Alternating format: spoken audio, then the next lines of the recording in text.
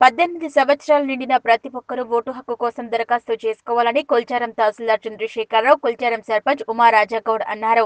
మండల కేంద్రమైన కొల్చారం గ్రామంలో జాతీయ ఓటర్ దినోత్సవాన్ని పురస్కరించుకొని తహసీల్దార్ చంద్రశేఖరరావు ఆధ్వర్యంలో కళాశాల విద్యార్థులతోటి భారీ అవగాహన ర్యాలీ నిర్వహించారు.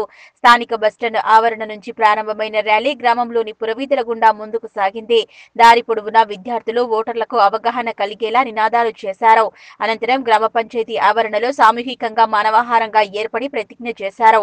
ఈ సందర్భంగా తహసీల్దార్ చంద్రశేఖరరావు మాట్లాడుతూ జాతీయ ఓటర్ దినోత్సవాన్ని పురస్కరించుకుని ప్రతి గ్రామంలో పంచాయతీలో ఓటర్ లిస్టును ప్రదర్శన నిమిత్తం ఉంచామన్నారు.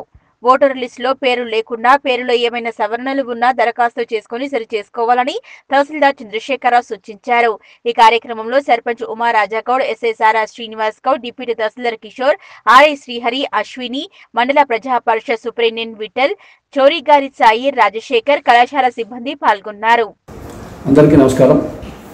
ఈరోజు కొల్చాల మండలంలో నేషనల్ ఓటర్స్ డే జాతీయ ఓటర్ల దినోత్సవం సందర్భంగా ర్యాలీ బస్టాండ్ నుంచి గ్రామ పంచాయతీ వరకు ఓటర్ల దినోత్సవం సందర్భంగా ఓటర్లను పద్దెనిమిది సంవత్సరాలు నిండిన ఓటర్లందరూ కూడా ఓటర్లుగా నమోదు చేయటం కో- కోరుతూ నినాదాలు ఇస్తూ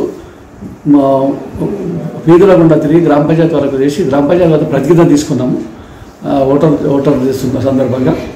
అదేవిధంగా అందరూ కూడా ఓటర్ లిస్టులను మండలంలోని ఓటర్ లిస్టులో అన్ని గ్రామ పంచాయతీలు కూడా పెట్టడం జరిగింది.